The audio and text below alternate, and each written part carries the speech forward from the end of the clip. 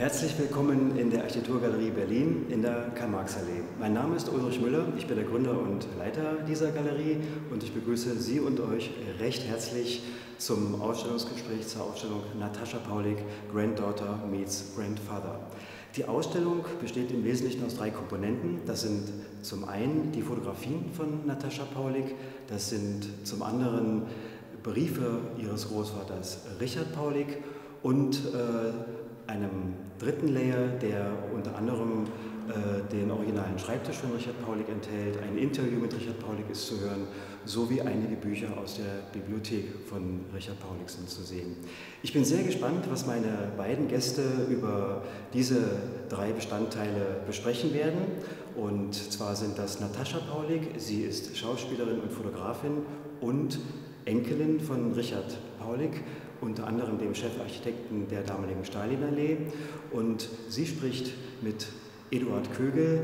Er ist Ausstellungsmacher, Forscher und Lehrer und hat sich in seiner Dissertation unter anderem mit dem Exil von Richard Paulik beschäftigt. Wir sehen hier äh, mehrere Gruppen von äh, Fotografien über Gebäude von Richard Paulik. Es sind eigentlich nur zwei, nämlich der Block Süd und Nord hier in der Karl-Marx-Allee und äh, in Halle Neustadt ein Gebäudeensemble, wo er äh, maßgeblich mit dabei war, um das zu bauen. Mir scheint das so, dass diese Bilder bestimmte Themen umkreisen. Kannst du das mal ein bisschen näher erläutern, was du damit, äh, wie du dich dem Ganzen angenähert hast? Ich verstehe den Prozess der Arbeit als gleitende Projektierung. Als Paulik äh, nach seiner 17-jährigen Immigration aus Shanghai 49 nach Deutschland kommt und 50 hier ankommt und er den ersten Wettbewerb für die Sporthalle, für die dritten Jugendweltfestspiele gewonnen hat, ähm, gibt es einen schönen Moment, wo er, das beschreibt er hier auf dem Tonband, wo er hier die Straße lang fährt und der Begleiter sagt zu ihm, Paulik, äh, wir suchen heute den Standort für die Sporthalle. Und während sie hier die Karl-Marx-Allee rauf und runter fahren und den Standort festlegen, steht in dem Moment fest, es wird eine gleitende Projektierung. Und nach diesem Modell habe ich auch meine Ausstellung aufgebaut. Das heißt, ich habe den Zeitraum, Paulik hat die Sporthalle in 188 Tagen fertiggestellt. Ich hatte zum, vom Zeitpunkt der Anfrage für die Ausstellung bis zum, zur Galerieeröffnung 78 Tage. Und in diesen 78 Tagen habe ich mich auf zwei Punkte konzentriert. Auf die Karl-Marx-Allee, in der ich lebe seit 23 Jahren, und Halle Neustadt, weil er mit äh, Halle Neustadt zur Moderne zurückgekommen ist. Das war mein Anliegen. Und Die, ich habe so den Eindruck, dass ähm, ja, das sind ja unterschiedliche äh, Fotogruppen und in jeder Gruppe wird, werden bestimmte Dinge umkreist. Ja, es geht zum Teil um Details, es geht um Alltagssituationen, es geht um Dinge, die man normalerweise jetzt nicht so wahrnimmt oder auch nicht wahrnehmen kann, weil man die Orte gar nicht äh, zugänglich sind. Ähm, das heißt, es ist im Grunde genommen äh, wie eine kreisförmige Bewegung immer wieder, um äh, solche Architekturen erfahrbar zu machen. Was für ein Konzept war da dahinter, diese bestimmten Gruppen von Bildern so zu fotografieren und dann auch so zu hängen? Na, die Gruppen sind ja erst im Nachhinein in der Auswahl so getroffen worden. Aber die Herangehensweise beim Fotografieren ist bei mir im wahrsten Sinne des Wortes. Wenn du es Umkreisen nennst, ist es ein Umkreisen. Ich bleibe lange an meinen Motiven und umkreise sie. Und natürlich war es für mich wichtig, äh, die Momente so zu zeigen, wie sie der Betrachter auf der Allee nicht zugänglich sind. Das war mein größtes Anliegen, dass ich zeige die Veränderbarkeit in den Momenten. Hier vorne in der Gruppe sind es ja wirklich nur Sekunden. Hier ist es ein äh, Element, äh, ein Schmuckelement oben in, auf dem C-Süd-Block, die Glasbausteine. Einmal die Draufsicht, die Hintersicht, die Durchsicht, was passiert an der sich gegenüberliegenden Wand mit dem Licht als Reflexion, das Durchfotografieren, das Tier und dort das Schiff. Und ja, es ist im wahrsten Sinne des Wortes ein Umkreisen. Auch hier mit den Lampen, äh, das ist in der Nacht entstanden. Und als wir vorhin hier lang gegangen sind, äh, ist es ja wirklich wie ein Theaterportal. Und so sind die zwei Haupteingänge im C-Süd- und C-Nord-Block ja auch, wenn wir wissen, dass Paulik in Shanghai Bühnenbilder entworfen hat und man mit äh, diesem Wissen davor steht, kann man das ganz gut äh, da rein interpretieren. Ich meine, das ist ja vielleicht auch das Spannende an der Karl-Marx-Allee, dass äh, Paulik eigentlich auch Bühnenbildner war und äh, dass er natürlich auch darüber geschrieben hat, eine städtische Bühne anlegen zu wollen, wo eben dann die gesellschaftlichen Prozesse sichtbar werden. Das ist ja sozusagen ein Anliegen hinter der Architektur und die Fassade war im Grunde genommen auch für ihn wie eine Kulisse, äh, die auch anders hätte aussehen können.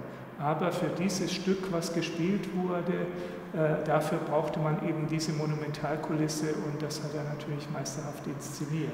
Ja, und äh, ich äh, gehe sogar so weit, dass ich sage, dass er sogar frech war, weil er kam ja aus der Moderne und hier, wo der Passant oder der der die Allee besucht oder bewohnt, nicht mehr den Zugang hat zum Dach. Denn hier wurde ja das fünfte Element eröffnet, wie Gropius im Bauhaus auch das gemacht hat. Und dann gibt es natürlich, das sind meine persönlichsten Aufnahmen eigentlich und im wahrsten Sinne des Wortes intimsten Momente. Äh, mein Großvater hatte die Tradition, mit uns Kindern jeden Herbst einen Drachen zu bauen. Und als ich die Wäsche auf dem Dach aufgehangen habe und er sich diese Schatten an der Mauer wiederfanden, dann hatte ich die Assoziation. Und das ist dann für mich in dem Moment Architektur. Ja, ich meine, das ist im besten Sinne Architektur, weil sie einfach sozusagen den Hintergrund bietet für äh, eine Lebensentfaltung. Und ich glaube, in dieser Hinsicht war Paulik auch ein Meister, dem es nicht darum ging, eine bestimmte stilistische Form zu kreieren, sondern eigentlich ein Setting. Mhm. Äh, das war eigentlich so über das, was er gesprochen hat, auch äh, geschrieben hat äh, und wie ich das interpretieren würde, ja, dass es ihm eben nicht darum ging, ein Objekt zu schaffen, obwohl er am Anfang seiner Karriere durchaus Objekte designt hat, ja, wenn man an das Stahlhaus in Dessau denkt zum Beispiel. Ja, und auch den Wohnraum, du kennst ja die Wohnung von Paulik, ich finde, man ist dort Raum und Zeit vergessen. Und ich glaube auch, er hat sich da wirklich eine Oase geschaffen, auch die Mauer, ähm, die an die chinesische Gartenkultur erinnert. Und wenn man in dieser Wohnung lebt, das war natürlich für mich irgendwann unweigerlich die Frage, wer hat diese Räume geschaffen, wo man sich erholen kann, wo man inspiriert ist, wo man leben kann, wo man eine Weite erfährt und im wahrsten Sinne des Wortes Raum und Zeit vergessen sein kann. Was jetzt zu Corona-Zeiten natürlich sehr einladend war. Ja, ich meine, das kann ich mir sehr gut vorstellen und ich meine, auch Paulik hat ja sozusagen bestimmte Phasen seines Lebens äh, in einer Form von Isolation äh, erlebt, ja, in der Immigration. Äh, wo es eben auch nicht so ganz einfach war, Anschluss zu finden und er hat dafür viele Jahre gebraucht. Aber er hat, glaube ich, dabei auch gelernt, äh, sich ganz schnell in Situationen einzufinden, auch politische Situationen. Und das hat er auch gemacht nach seiner Rückkehr, weil ich glaube, er war nicht nur Architekt, er hat ganz viel von seinem Vater gelernt, mhm. der ein Politiker war und ganz genau wusste, wie machtpolitische Spiele gespielt werden und er wusste sich selber zu inszenieren, um dann eine Rolle einzunehmen, wie er für sich und seine Leute äh, die bestmögliche Ausgangsposition finden kann. Ja, und wenn er gesehen hätte, was mit Halle Neustadt passiert, das hätte ihm vielleicht das Herz gebrochen. Ja? Denn ja, als ich die Reise dorthin gemacht habe, wusste ich nicht, ob ich weinen soll oder fotografieren soll. Ich habe wirklich gedacht, ich bin im Kriegsgebiet. Und ähm, das beschreibt er ja, dass ihm äh, in Halle Neustadt die Fassadengestaltung auch wichtig war. Dass man zwar